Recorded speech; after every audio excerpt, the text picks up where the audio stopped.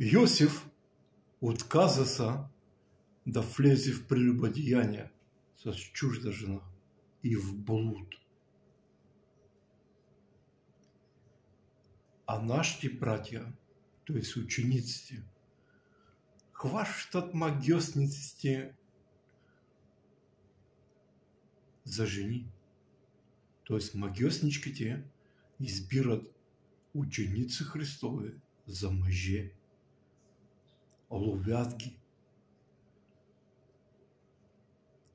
в мрежите, правят ги на елен и те не стоят на стража.